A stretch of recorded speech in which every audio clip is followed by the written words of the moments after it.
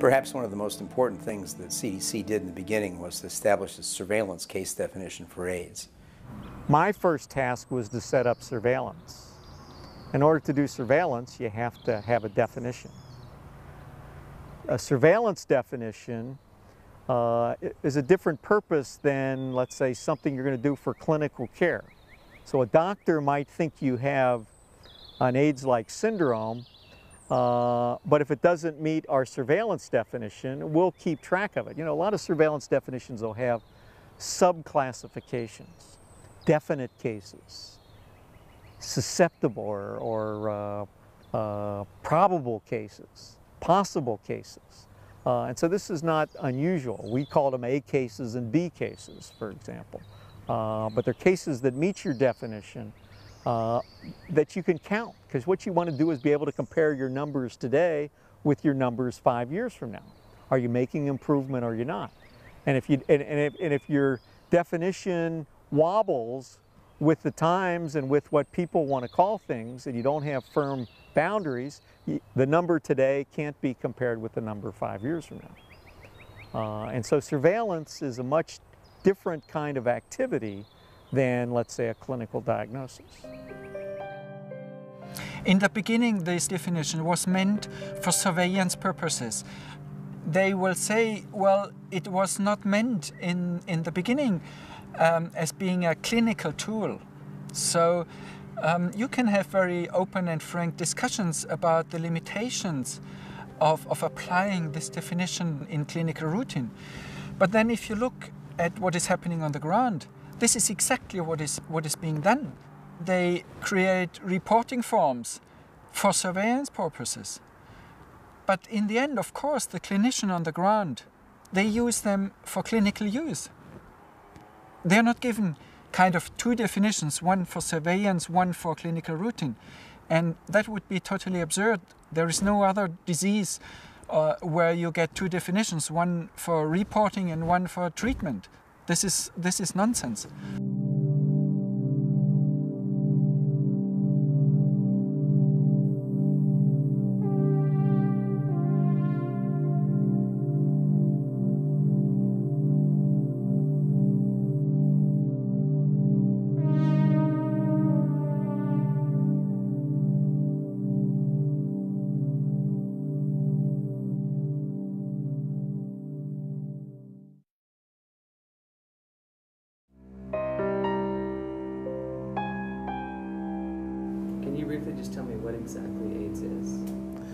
AIDS is the name of the disease. AIDS is a disease? AIDS is the disease. AIDS is a new disease. There isn't a disease. There's a lot of diseases.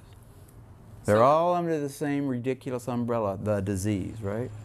As long as we look at it as a disease that we can cure somehow by understanding how to kill the thing that causes it, we're missing the point. Totally. That's the big problem. They called it a disease. They said they're dying of a disease. Simply spoken, if you have tuberculosis, an antibody against HIV, then we call it AIDS. If you have tuberculosis, no antibody against HIV, now we call it tuberculosis, as we used to. It's an old disease under a new name when we find antibody to the virus. When I saw my first AIDS patient, this guy was actually suffering from lymphoma. He has uh, so-called Burkitt lymphoma. And all of a sudden, they told me, my colleagues told me, well, this guy has got AIDS now. And I, why, why, he, why he's got AIDS now? I, I see he's suffering from lymphoma. Yeah, well, he, he reacted positive in, a, in the HIV test. And I, I thought a while and said, well, okay, but it's not a new clinical disease, it's still a lymphoma. So uh, um, everybody was talking about the the big AIDS epidemic at that time, and now we have the first AIDS patients here. But I said, well, for me, it's not an epidemic in the classic sense. For me, it's an epidemic of a new test. And uh, that's what we know now uh, was one of the problems of the HIV-AIDS epidemic, that 29 of old diseases are now called AIDS if you have antibodies to HIV. It is very deceptive uh, to give a new name to old, well-known diseases on, on a scientific level and it is not, not at all helpful on a clinical level because we need to treat the underlying disease. I mean, I mean, that's a definition, you might say. It's a definition to say that when you have HIV, you know, we call the immune deficiency AIDS. I mean, it's just a label that we use.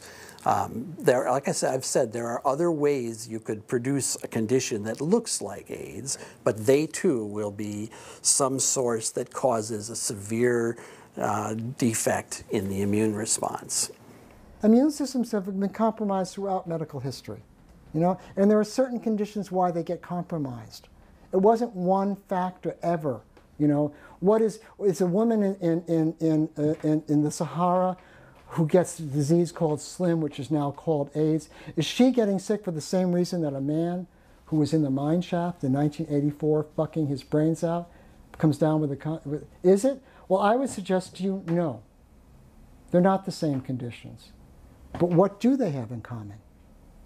What do they have in common? That question's not being answered because it's a virus. It's a virus.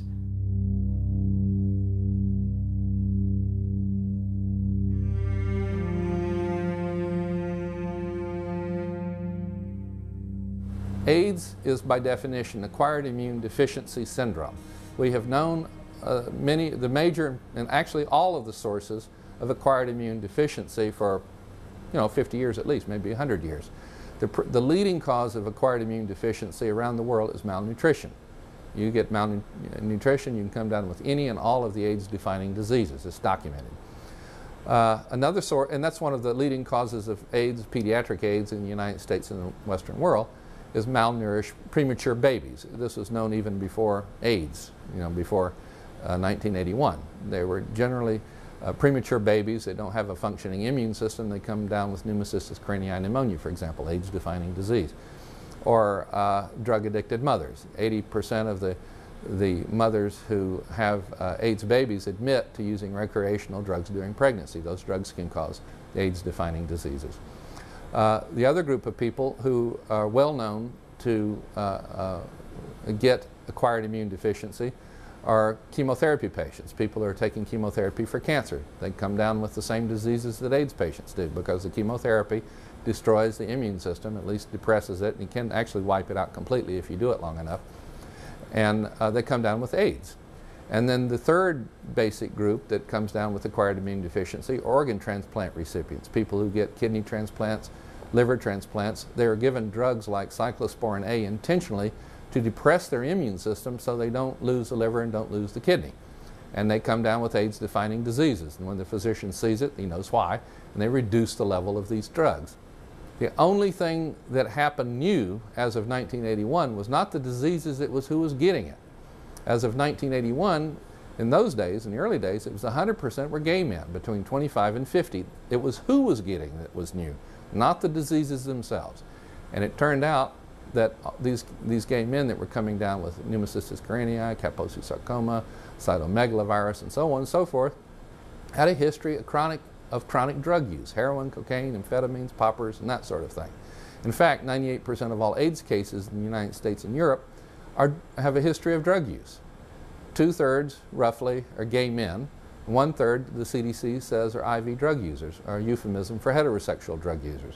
We have about 1% annually of hemophiliacs they come down with the AIDS-defining diseases uh, before AZT, before the introduction of AZT, uh, due to the proteins th that they had to inject, factor VIII to keep them from, from dying of hemophilia.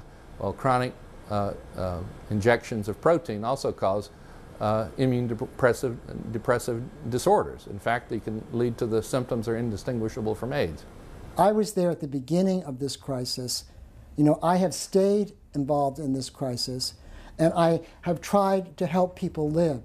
I think more people have died because of the theories that have been promulgated about the cause and the treatment of AIDS than not. And I think the quality of the living of many of these people who depended and trusted the, the kinds of drugs that were put forward and the theories that were put forward is cruel punishment. They, that the quality of their lives was very poor.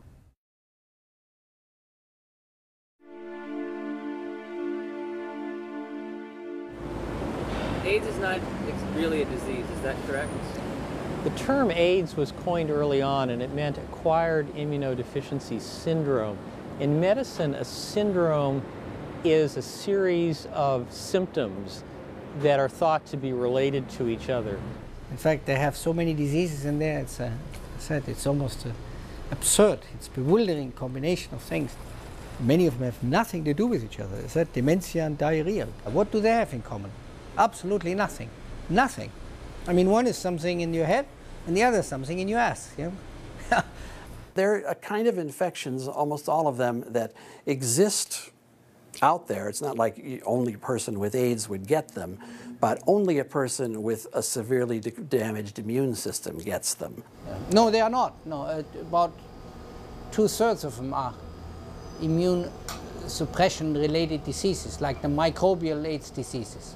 All the microbes benefit from a defective immune system.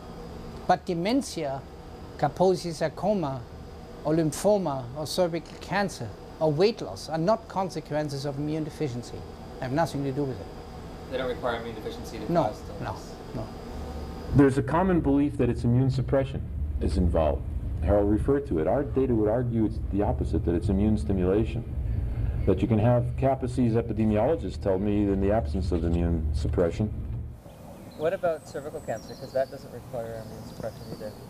Yeah, no, uh, that was really a. Uh, I, I, I still think, and I've actually published uh, that that that that, that uh, uh, does not appear to be related to HIV infection. Though in 1993 it was added to the list as an AIDS-defining illness. TB was a real tough disease for us because um, uh, tuberculosis occurs in both immunocompromised and immunocompetent people. And so actually it wasn't one of our initial diagnoses to be AIDS because more than half the cases in the literature up till then were in immunocompetent individuals as opposed to immunosuppressed. So that didn't make our list of diseases till about 1987.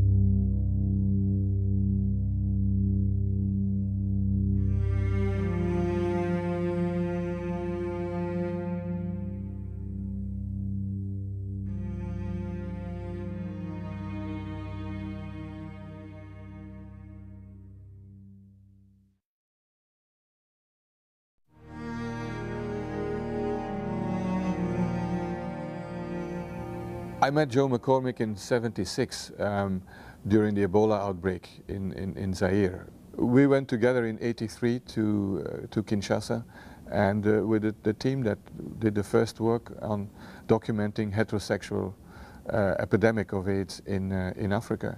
And uh, he brought with him uh, an enormous experience in terms of um, outbreak investigation, epidemiologic investigation, and um, yeah, it was a very great collaboration. When you guys created that, did that help you begin to establish prevalence and figure out what stage the epidemic was in Africa? Yeah, in 83, we, um, our, our goal was to document that there is an AIDS epidemic in Kinshasa, which after a few weeks we were absolutely certain about.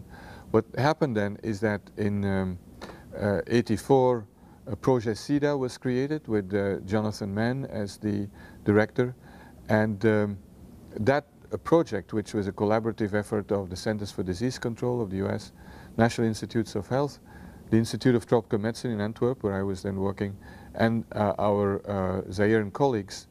And that uh, project really documented all the basics of AIDS in, uh, in Africa uh, heterosexual transmission, that there is no household transmission. We didn't know are mosquitoes transmitting HIV. I mean, things that now we all know, but uh, in the early days, in the 80s, we had no clue.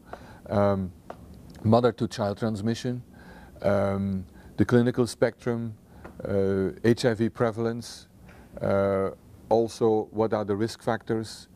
Uh, we saw also that sex workers have much higher rates of infection and so on. So that project really remarkably in a few years time um, really uh, put together the, the picture of what we know as AIDS in Africa today. The first AIDS meeting uh, in, on the continent of Africa that was held by WHO at least, I'm not aware of any other meeting, was in 1985 in, in Bangui. Um, Fakhry Assaad uh, asked me to set that meeting up And I contacted uh, colleagues at the Institut Pasteur in Bangui at the time because they, I knew they had a good facility for meeting and for organizing a meeting in, in those days. And so uh, I worked with them to set up uh, the meeting. And I thought it was a good place to have the international community uh, because it would get the French involved. And the French, through their Instituts Pasteur, had uh, had and still have to some degree a very potent program for being able to, to really launch investigations in many countries on HIV, and they did, they did that uh, to some degree. So anyway, we organized, and Fakhry agreed that we would set, uh, that we would have the meeting in Bangui. And uh, at that time, uh, Luc Montagnier was involved, and he had already become very well known. So he helped to, uh, he and his colleagues helped to, to set up, although he didn't attend the meeting. And uh, we were able to get the international community. Now, I, there had already been a national, an international meeting on, on HIV, but it had been held in Europe. And I felt that if we really wanted to have a meeting about AIDS in Africa, it needed to be in Africa. And so that was where we set up the first meeting. And uh, many of the, of the uh, players, even today, who, uh, who are still involved with HIV, uh, came to that meeting in 1985. And that's where we developed the uh, Bangui criteria for the, for the clinical diagnosis of AIDS. As you might imagine, in those days, working in Africa, we didn't have, even though by 1985 there was a serologic test, you could do antibody tests and, and make a, a serologic diagnosis for exposure. Most of Africa didn't have access to this. this was new, um, and they didn't have access to it. So how are we going to count cases? What were the criteria? And one of the things that we did in that meeting was to sit down and hash out the so-called Bangui criteria for the diagnosis of AIDS in Africa. And that's been used for literally since then as a, as, as a set of criteria, clinical criteria for being able to diagnose AIDS. And that helped in the overall effort to count cases because we needed to know what was the impact of the, uh, of the epidemic. So one of the things that came out of that, in addition to some collaborations and other things that happened, were these, uh, these clinical criteria for the diagnosis of AIDS. Yeah, I noticed in your book you said that was your main point to come up with, right. with that, right. that clinical criteria. Right. Mm -hmm. Can you just briefly explain how does the Bangui definition work? Like how, how is it applied in, in, in terms of medicine? Well, it's set up. It's set up so that that uh, that uh, weight loss, and I I must tell you, it's been 20 over 20 years, and I probably can't cite every single one of the criteria. But the the idea was to say what would be a simple way for a clinician to look at a patient and be reasonably sure that they have AIDS, and one of them clearly was uh, prolonged weight loss um, uh, an opportunistic, some kind of, and, and, for there it was either TB or a fungus infection that was, that was going to be obvious, that didn't require a laboratory to, to investigate it. Um, and uh, there probably were a couple of other criteria that were perhaps a little bit uh, more minor that were involved. But, but the purpose of it, the principle was, how can you provide simple clinical criteria that you don't need a laboratory, you don't need a microscope, you don't need that, that, a, that a doctor can look at a patient and say that uh, this patient likely has AIDS. And that was the purpose of it. And, and, and among the, the, the major criteria were it was a, a severe weight loss and, uh, and a evidence of some kind of opportunistic infection, fungus infection of the mouth, for example, or TB. Uh, that so, those were the, the, the, the, the major criteria for, for AIDS. Well, in clinical terms, it just doesn't make sense. It is not helpful in, in any way. You, you, we are confronted frequently with sick people. That's our job to treat them. In order to treat them in the best way, we, what we need, essentially need, is to make uh, the best diagnosis we can come up with, to, to, to treat them accordingly. And a diagnosis which is just giving another label to well-known treatable diseases doesn't help treating these patients. The people that, that, that came up with the concept of AIDS, they were able to conquer all of us. That's why I'm saying this is more a political stunt, because it was very, it was a group of, I, I guess should be a group of engineers, you know, people that have been able to think of all these things and connect them so that they look so powerful, so that they look so unconquerable, so that they look so fearful, I mean, fearful. You know, when you think of the word AIDS, it is as though it's this new thing that is just coming, that is more fashionable in disease terms. You know, it, it's, it, it becomes even more scary.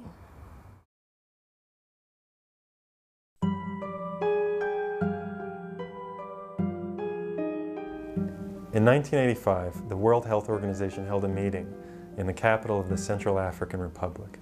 Joseph McCormick was chosen to preside over that meeting. He's not African, he's not an African leader, he's a guy from the, the US CDC. What's he doing over there? Well, here's what he's doing over there. He goes over there and he says, we got to come up with a definition for AIDS. Now, why would you do that? We needed criteria that were immediately available to clinicians and for public health people to be able to get some estimate of the number of cases they were seeing. That was important because it allowed um, the African countries to start documenting the problem. And it gave something to clinicians in Africa to, uh, to diagnose AIDS. They could discover AIDS all over Africa at that point. They could say that we are all at risk, but they could say it's spreading around the world. They could say it affects women as much as men because almost anyone in an African hospital could be diagnosed with AIDS without having to do the HIV test at all. How were the official AIDS estimates created for Africa, and how credible were they in your opinion in the very beginning? Well, in the very beginning, we had very little data. I mean, John Mann, based on his sort of studies in Africa and what data he had before the global program was even developed, he made a, an estimate of between 5 and 10 million uh, globally, most of that in Africa. And uh, when I finally got to Geneva in 87 and looked at the available data, uh, I told John that at most I could come up with about 5 million based on what data was available and the assumptions. 5 million in Africa? 5 million globally. Globally. Uh, most of that in Africa.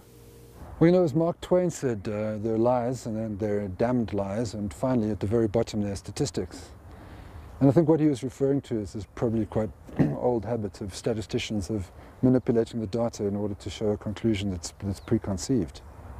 So the Bangui definition, which is based on very unspecific clinical symptoms like fever, weight loss, or diarrhea or cough, these are symptoms which are widespread in, in, in poor countries uh, where people suffer from diseases, well-known diseases, with exactly these symptoms.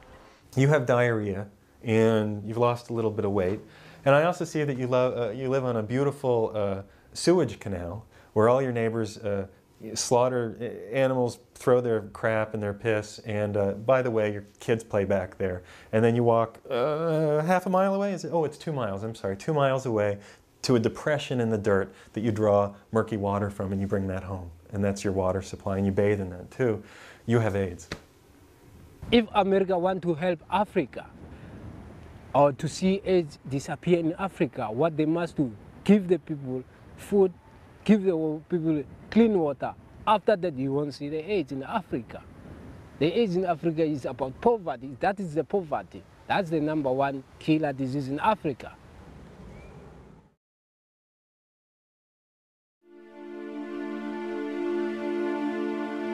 All the facts on HIV and AIDS with Griselda on Metro FM Talk. It's World AIDS Day. There are functions, there are gatherings. The international theme is Stop AIDS, Stop HIV and AIDS. Keep the promise. So many years later, we keep saying the same things HIV, HIV, HIV. And yet, Africa does not have its own voice when it comes to response towards AIDS, doesn't have its own messaging. Your multinationals, they don't even want to listen to the cries of African people. To them, it's more about let's come up with this thing and, and define it as AIDS. What is AIDS? AIDS. Yes. Uh, I can't, I can't, I can't tell you much on AIDS. Hence, this is the, the, the, the new new language which has been brought by I don't know who. You see, I, I can't actually, I can't actually explain that. Uh, rather than just knowing that people just simply say that AIDS is acquired immune deficiency syndrome, and maybe we will need a clear explanation from the experts that what is the meaning of AIDS, and and if if if they actually say AIDS was not there mm, previously, what were the diseases which were troubling the, the, the communities? Because these kinds of diseases were, were, were prevailing. We did have patients with uh, the conditions we now regard as AIDS defining, even before the advent of AIDS.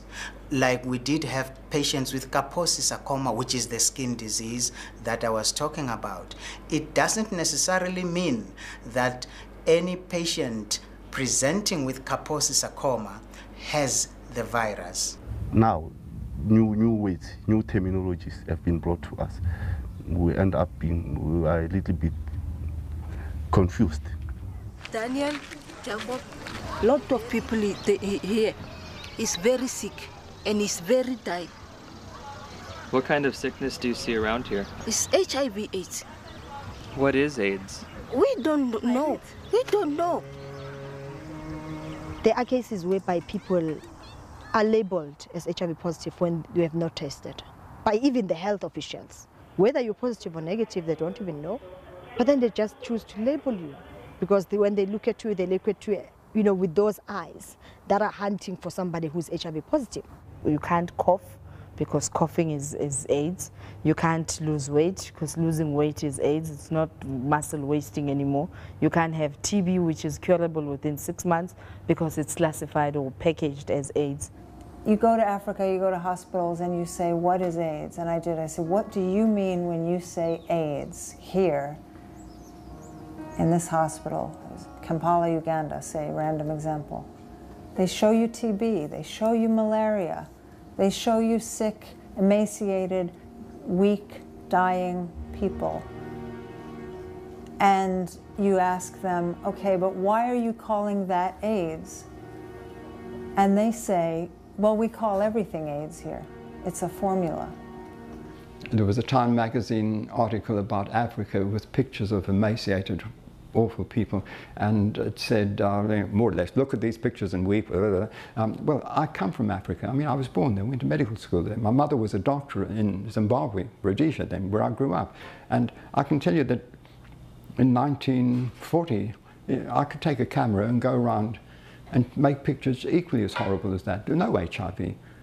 Oh, oh, I'm sure it's true that not everyone who has AIDS has even had a antibody test, not to mention isolation of virus. But if you want to go do it, you could do it, but there's no reason you, you know, if you, if it walks like a duck and quacks like a duck, you don't have to do a, uh, a genetic um, blood test to see if it's really a duck. I mean, very soon you see what it, what the disease is. You don't have to do a laboratory test on a lot of these things.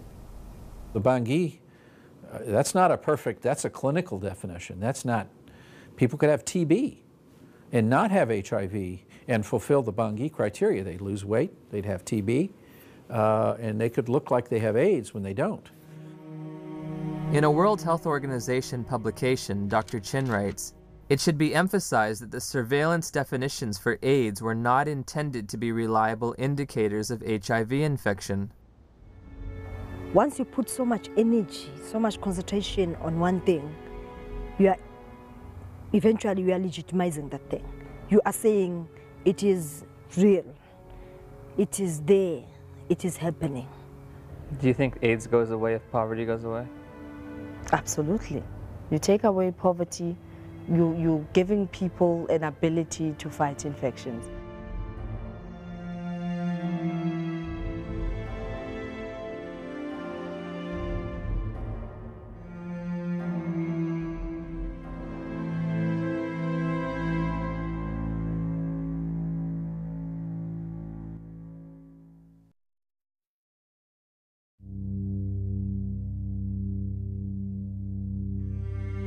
In Africa, the AIDS definition was established in 85, you know, a year after the official definition in the United States, although they were totally separate illnesses, you know, series of illnesses. Nevertheless, we decided that those people had the same disease. Why in 1985 could we not apply the CDC's definition in the United States to Africa? Uh, the, the level of, of laboratory and clinical uh, expertise and facilities are just not present in the majority of uh, African countries. So to diagnose histoplasmosis infection, to diagnose pneumocystis carinii infection, uh, there's just no isolation methods for this.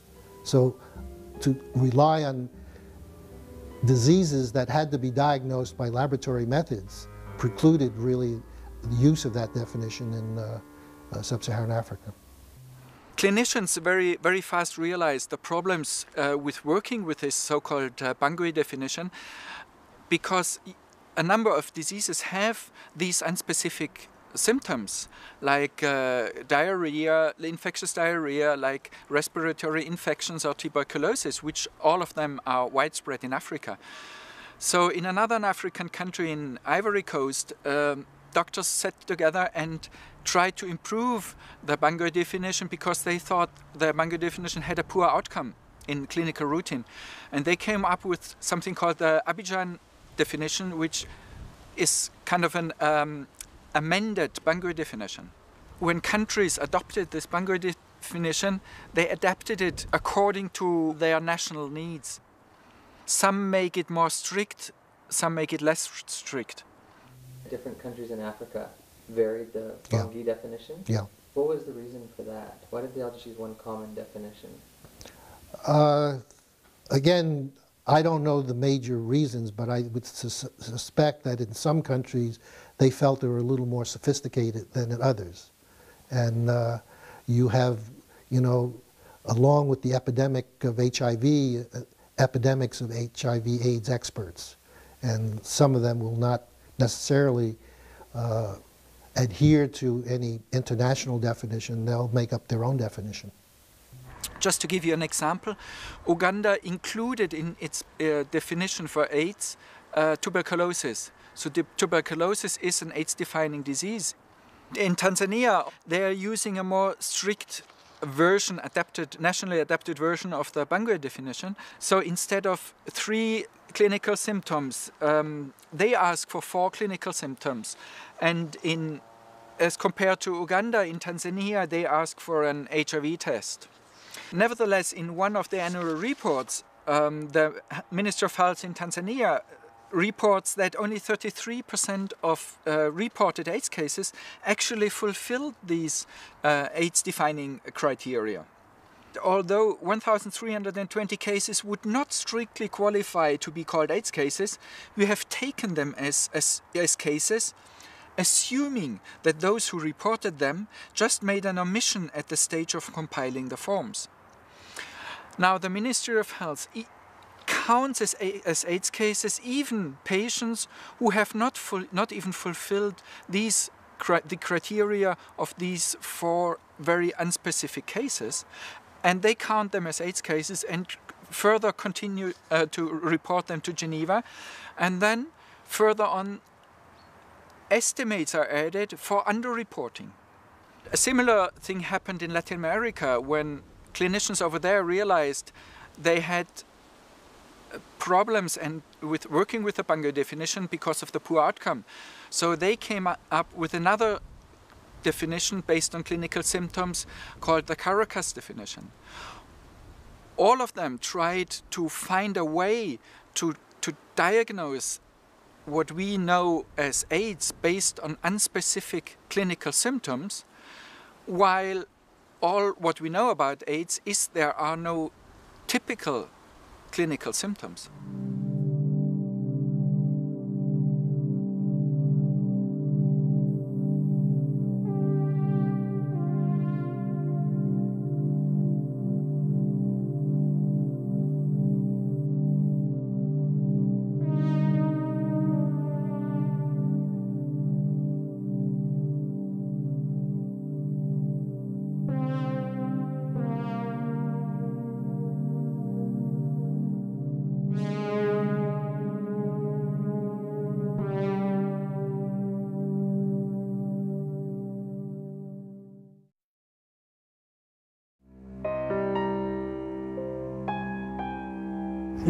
York Times and you see a story saying that 4 million Africans are infected with HIV. It doesn't imply that those people have been tested. It implies that they're linked via tortuous mathematical models to a woman who's tested positive in one of the sort of annual surveys conducted in African pregnancy clinics. The three questions that we have to ask when we see statistics about AIDS cases or AIDS deaths or AIDS orphans in Africa uh, uh, are, are, the fundamental questions we ask of any number. Number one, who created this statistic? Number two, how was this st statistic created? And number three, uh, for what purpose was it created?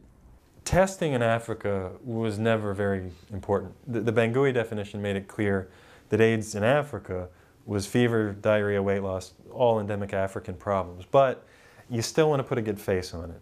And you want to test. And the reason you test is so you can come out with startling numbers. Like there are 60 gazillion people in Africa who now have HIV and they all need drugs now. What kind of big mistakes were made in early testing? Well, there were, uh, there, there, this gets very technical, but the mistakes that were made is that people thought you could do the test with a single sort of control, that is a negative control.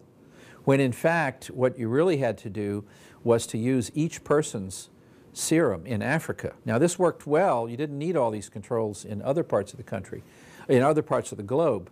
But in Africa, because probably because people are exposed to so many parasites and so many different infections, they tend to have a lot of, of background in their, in their uh, serum that made this test falsely positive. And so there were some instances where people found, for example, there was one study where people examined blood from a group of children in the, in the Congo and found 60% of them had antibodies to AIDS. This was actually published. And it was because they didn't understand the limits of the test and they hadn't used the proper controls, and so they way overestimated. And a lot, and there were some other papers like that, and they had to be withdrawn eventually. But you can see that it created a lot of, a lot of confusion because of that. What, I'm sorry. What do you mean by estimates? What, I'm, I do not know. You said that they, the, the children, are you mean estimating prevalence for the Yes, for the yes, yes. I mean, if you come in and say 60% of the children in this test were, were uh, positive for HIV, I mean, that's a staggering number. We don't even have today any places with that high number. And so you can see, I mean, if somebody says to you, 60% of the kids in, this, in, the, in the eastern part of the Congo are infected with, a, with AIDS, because that's what the antibody tests that they did said, I mean, you can imagine that would be uh, pretty startling.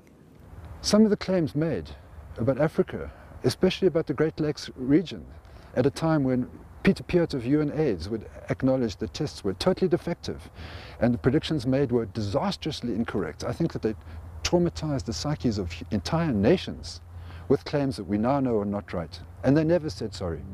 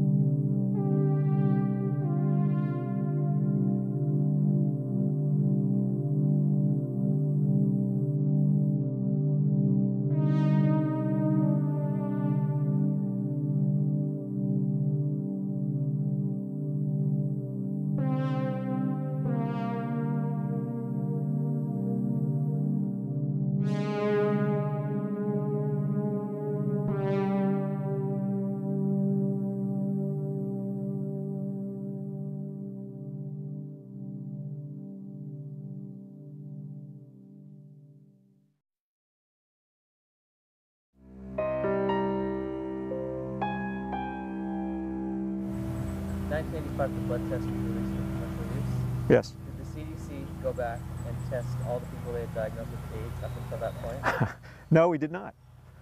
Realistically, you should not diagnose AIDS as acquired immune deficiency syndrome without evidence of HIV infection. In 1987, the CDC made two mind-boggling changes in the definition of AIDS, which are in effect today. You can be diagnosed with AIDS without ever having an HIV test. Uh, matter of fact, the CDC acknowledges that uh, at least 40,000 AIDS cases in the United States were never even tested for antibodies to HIV. So, a lot of it is presumptive. Presumptive that there was nothing done, like in Africa. The doctor says, this looks to me like AIDS, and reports it faithfully to the World Health Organization or the CDC. And that's exactly what's happening here. There's a gay guy with Kaposi. Do we need to hear more? No. goes to the goes to the public health office as a reported AIDS case. Do you think anybody's going to question it?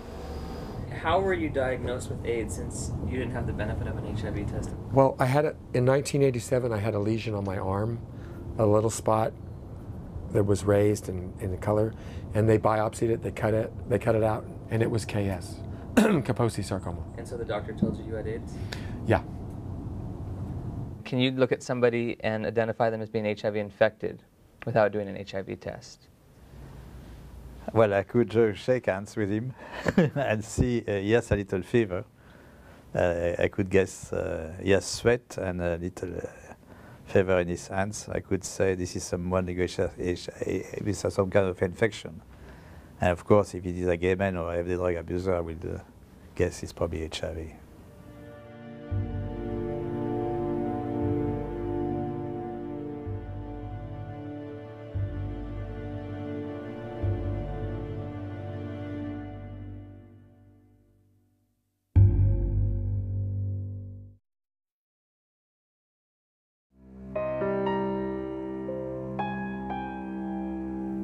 The definition of AIDS has broadened over time. It was revised in 1985, and then again in 1987.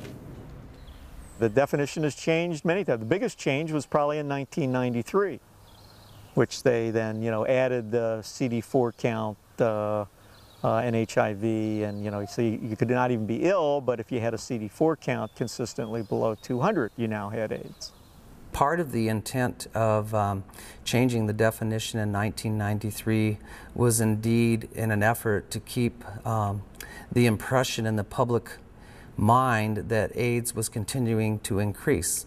In fact, AIDS cases that were reported to the CDC uh, by the old definition had peaked in 1992.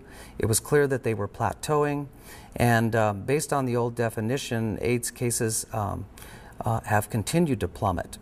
A closer look at the Centers for Disease Control's documents reveals that AIDS numbers actually declined in 1993, but a retroactive definition change increased the estimates by more than 100%. If U.S. AIDS cases were to cross the Canadian border, about two thirds would no longer be AIDS because they were diagnosed in the U.S. based on the low immune cell count definition that's not valid in Canada. I was interviewing a few people in Health Canada, Mhm. and they don't recognize the 200 count. Why, why do you think that is? Well, I mean, in the U.S., I think some um, some of the reasons for it relates to um, uh, the activist community were very concerned that there were a, a, a large number of folks that were HIV infected that were um, ill but didn't meet criteria for AIDS and thus were not eligible for certain um, certain resources. And so um, I think um, through the and also through the active through some input from the activist, commu- activist community and um, and so forth that you know in the U.S. we change we we lowered the criteria to include asymptomatic people with CD4 counts, but there are a number of countries that don't use that as criteria. CDC felt it was important to utilize the case definition of a way of demonstrating a need for management of people with end-stage infection. And uh, we wanted them to be, their doctors to be alert to that management need, and we wanted uh, their insurance companies to be alert to paying for the uh, conditions. There were a number of people that were getting treatments for AIDS, either trimethoprim sulfa for pneumocystis. Uh, in the states, were trying to recoup some of their uh, their dollars. So the definition then had to, they wanted to use the same definition for surveillance and for clinical diagnosis for uh, reimbursement parts. So there, so there were some politics and dollars and cents that impact almost every decision in public health, believe it or not, uh, that, that, that started coming into play in the 90s as people were looking at how to fund these things and how to get reimbursed for. What, what were they trying to get reimbursed for? Well, for for uh, treatments for AIDS, for uh, for uh, you know Medicare and Medicaid and other kinds of payments. Uh, uh, if you couldn't document that you had a diagnosis of AIDS, you couldn't get you know monies that were set aside for AIDS funding for clinical care. If someone has a T cell count of 200, he's then defined as being an AIDS patient. What happens if he comes back to you two weeks later and his T cell is 350? Is he still considered AIDS? Well, if he was reported uh, to the health authorities, and there is a requirement for reporting patients with AIDS. If he was reported, uh, once he's reported, he is counted in the rolls of people with AIDS. However, it really has no particular implication for him. If he is 350 two weeks later, that's terrific. But if he is someone who needed some kind of benefits from the state that depended on his having an AIDS diagnosis, he, of course, does now have an AIDS diagnosis. And if he was someone, for example, who was seeking disability, it will be easier for him to get disability once he's had an AIDS diagnosis, even if it was only for two weeks. So once you get an AIDS diagnosis, you're always considered an AIDS Yes. case? Yes. Yes. Okay. You don't get taken off the rolls. I knew people that had four T cells that did not have AIDS and who were healthy and active in the world outside. And I knew people who had 400 T cells who couldn't get out of bed. And yet the person who had under 200 T cells could get all kinds of financial and ancillary services. The person who had above 200 or 200 T cells did not qualify. You have to remember that definition of 200 T cells meaning AIDS, that's a political definition. It's not a medical one. Uh, countries don't use that definition, I think, because of the dollar. Uh, yeah, well, I mean, you know, everybody's got to make their own, uh, to, to fit their own needs. Uh, and so, yeah, the CDC, uh, working with Health and Human Services, has, has uh, and Congress and others have, you know, these, these all come, come into play. It's a lot more complicated when you get to say. Yes, yes, it is. Yes, it is.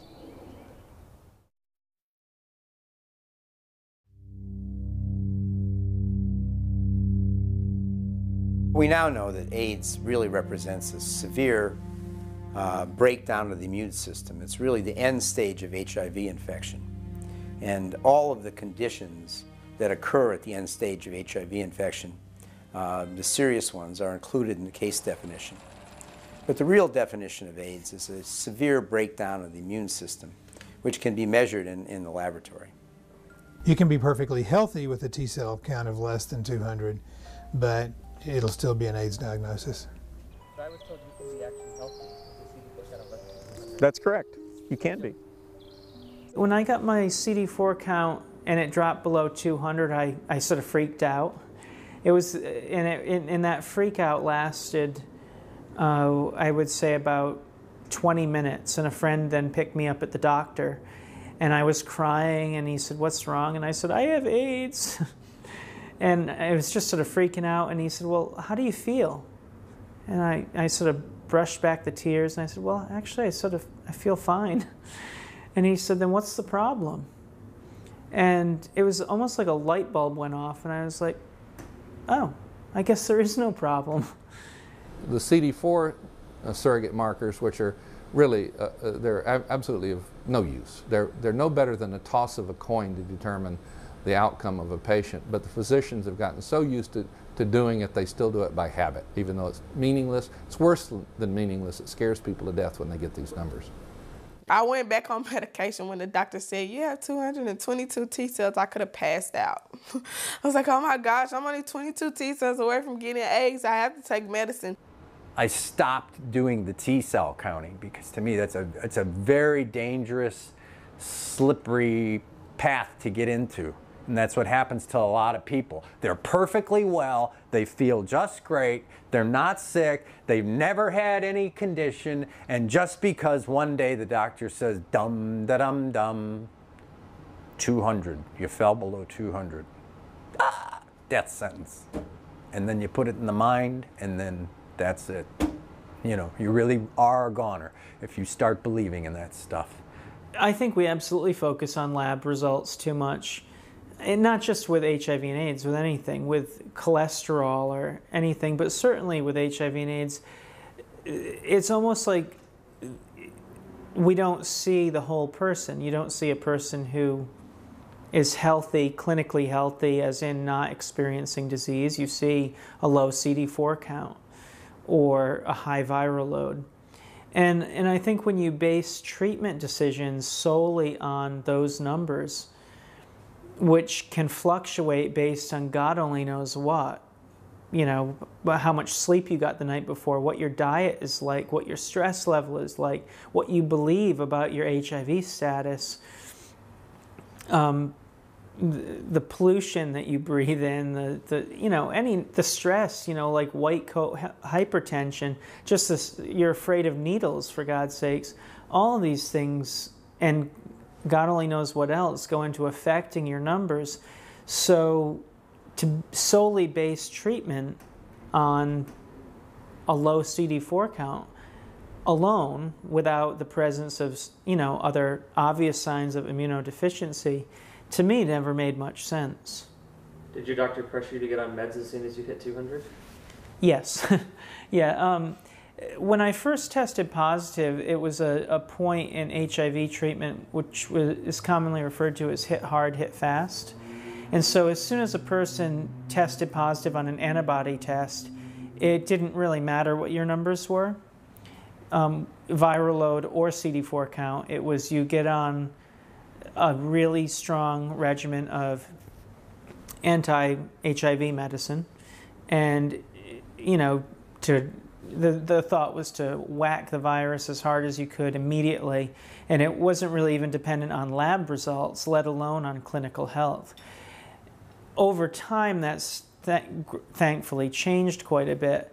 But certainly, when my numbers started to go below 200, and even when they were the highest my numbers have ever been have been at 300, um, there was a huge amount of pressure. Like if you don't go on these meds immediately, you're in big trouble. You know, and and it seemed like every time I would go to a different doctor, they would pull a different a different card and say, "Do you want to go blind with CMV retinitis, or do you want to?"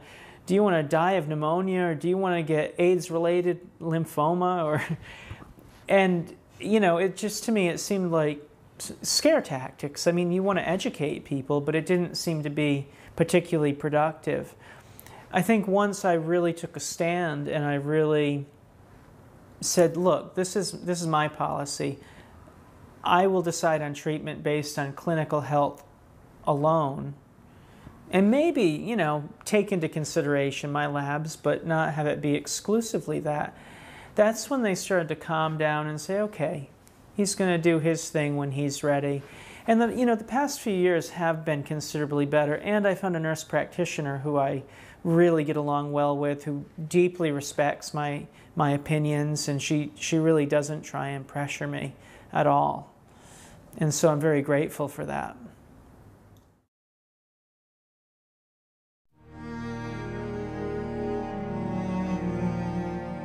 Prior to 1997, the CDC provided a list of how many people were diagnosed with each AIDS defining disease each year. They also provided the number of people who were diagnosed without any disease at all, just based on low CD4 immune cell counts.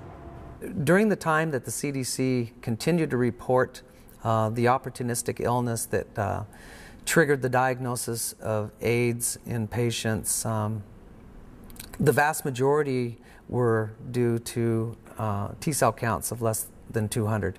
For example, as I recall, in the year 1993, uh, I believe about 66% of the AIDS diagnosis for that year were due to low T cell counts.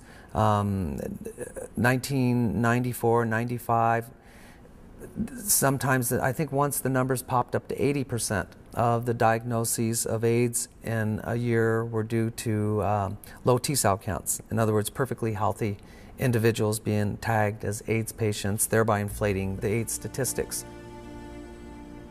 Table 12 was the breakdown of the number of AIDS cases over that, that year uh, according to the diseases over the various definitions of AIDS. And then table 11 was the breakdown over a period of years. How many, how it changed over the, for the various definitions over a period of years, four or five years. And both of those tables clearly showed this, this divergence, this separation between people who have antibodies to HIV and people who are actually sick. So you couldn't keep the CDC could not keep that going and have that divergence increase over time and then claim that AIDS is not going away. you know, they don't want to say AIDS is going away because then they're out of business, pretty much. In 1997, this delineation stopped.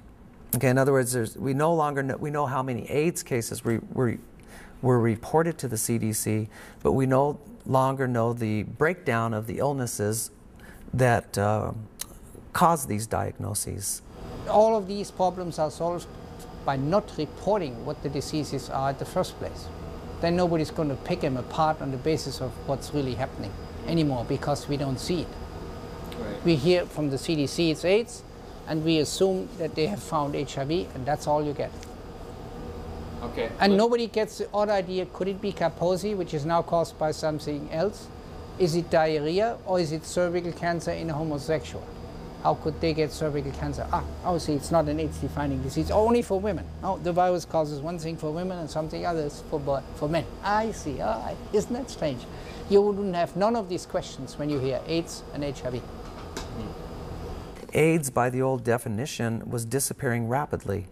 And um, as I mentioned before, when you look at uh, the graph of AIDS exploding from 1980 to um, up to 1992, and you see this tremendous rapid drop off up to 1997, where we no longer have any data to distinguish between old AIDS, in other words, AIDS that is associated with real illness, and new AIDS, which is the T cell count based AIDS. So we see this inflation of total AIDS now. And again, even total AIDS is dropping off. But I think it was embarrassing to the CDC to see that the syndrome was almost gone. In other words, the syndrome of people that are antibody positive for HIV, also um, getting ill. AIDS patients don't die. I mean, HIV positives do not die of AIDS today, very rarely. The vast majority now die of liver disease. In Massachusetts, the number one leading cause of death among people who are HIV positive is liver failure. And I don't think liver failure qualifies yet as an AIDS defining disease. But these people are not, they're not counted as AIDS cases. They're just somebody who was HIV positive, given AIDS drugs, and the AIDS drugs killed their liver and they died. I seen side effects from that right away. I was on a combination of Viramune and Combivir. I was losing weight. I couldn't eat. I couldn't drink, and the and the pills that I was taking had to be taken with food. And I couldn't eat. And it, I began um, seeing liver damage and I was taking off the medicines within a month of me taking them.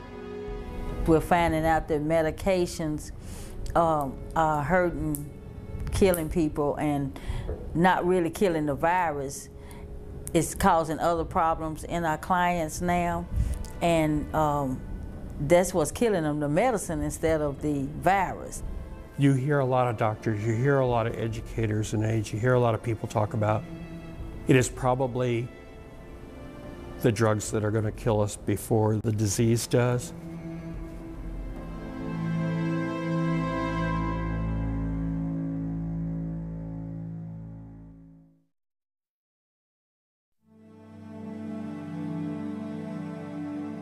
Perhaps one of the most important things that CDC did in the beginning was to establish a surveillance case definition for AIDS. My first task was to set up surveillance. In order to do surveillance, you have to have a definition. A surveillance definition uh, is a different purpose than, let's say, something you're going to do for clinical care. So a doctor might think you have an AIDS-like syndrome, uh, but if it doesn't meet our surveillance definition, we'll keep track of it. You know, a lot of surveillance definitions will have sub-classifications, definite cases, susceptible or, or uh, uh, probable cases, possible cases. Uh, and so this is not unusual. We call them A cases and B cases, for example. Uh, but they're cases that meet your definition uh, that you can count. Because what you want to do is be able to compare your numbers today with your numbers five years from now. Are you making improvement or are you not? And if, you, and, and, if, and if your definition wobbles with the times and with what people want to call things, and you don't have firm boundaries, the number today can't be compared with the number five years from now. Uh, and so surveillance is a much different kind of activity. When I, I thought a while and said, well, okay, but it's not a new clinical disease, it's still a lymphoma. So uh, um, everybody was talking about the big, the big AIDS epidemic at that time, and now we have the first AIDS patients here. But I said, well, for me, it's not an epidemic in the classic sense. For me, it's an epidemic of a new test.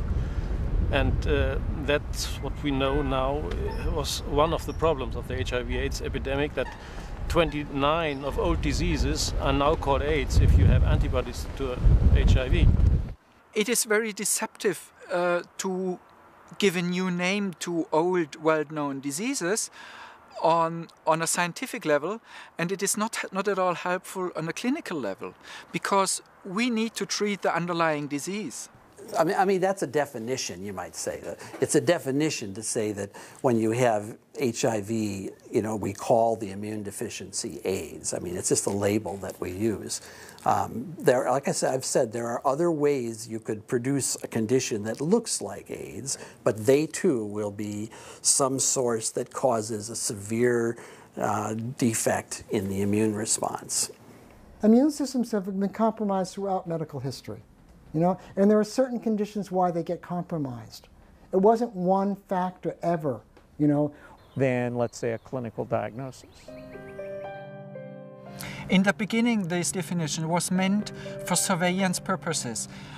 They will say, well, it was not meant in, in the beginning um, as being a clinical tool. So um, you can have very open and frank discussions about the limitations of, of applying this definition in clinical routine. But then if you look at what is happening on the ground, this is exactly what is, what is being done. They create reporting forms for surveillance purposes. But in the end, of course, the clinician on the ground, they use them for clinical use. They're not given kind of two definitions, one for surveillance, one for clinical routine. And that would be totally absurd. There is no other disease uh, where you get two definitions, one for reporting and one for treatment. This is, this is nonsense.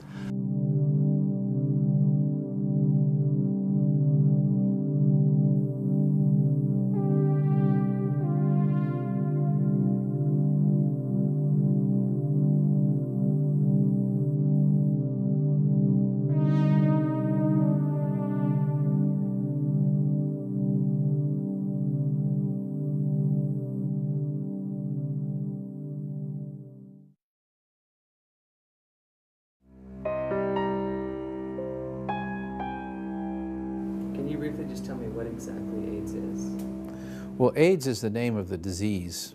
AIDS is a disease? AIDS is the disease. AIDS is a new disease. There isn't a disease. There's a lot of diseases.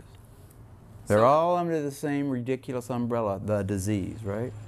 As long as we look at it as a disease that we can cure somehow by understanding how to kill the thing that causes it, we're missing the point. Totally. That's the big problem. They called it a disease. They said they're dying of a disease. Simply spoken, if you have tuberculosis, an antibody against HIV, then we call it AIDS. If you have tuberculosis, no antibody against HIV, now we call it tuberculosis, as we used to. It's an old disease and a new name when we find antibody to the virus. When I saw my first AIDS patient, this guy was actually suffering from lymphoma. He has uh, so-called Burkitt lymphoma. And all of a sudden, they told me, my colleagues told me, well, this guy has got AIDS now. And I, why, why, he, why he's got AIDS now? I, I see he's suffering from lymphoma. Yeah, well, he, he reacted positive in, a, in the HIV test. What is, it's a woman in, in, in, in, uh, in, in the Sahara who gets a disease called SLIM, which is now called AIDS. Is she getting sick for the same reason that a man who was in the mine shaft in 1984 fucking his brains out comes down with a, is it? Well, I would suggest to you, no. They're not the same conditions.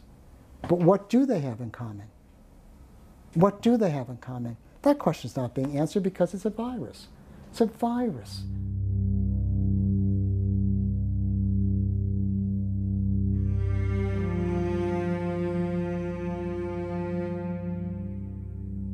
AIDS is by definition acquired immune deficiency syndrome. We have known uh, many, the major, and actually all of the sources of acquired immune deficiency for, you know, 50 years at least, maybe 100 years. The, the leading cause of acquired immune deficiency around the world is malnutrition. You get malnutrition, you can come down with any and all of the AIDS-defining diseases. It's documented. Uh, another sort, and that's one of the leading causes of AIDS, pediatric AIDS in the United States and the Western world, is malnourished premature babies. This was known even before AIDS, you know, before 1981. They were generally uh, premature babies. They don't have a functioning immune system. They come down with pneumocystis carinii pneumonia, for example, AIDS-defining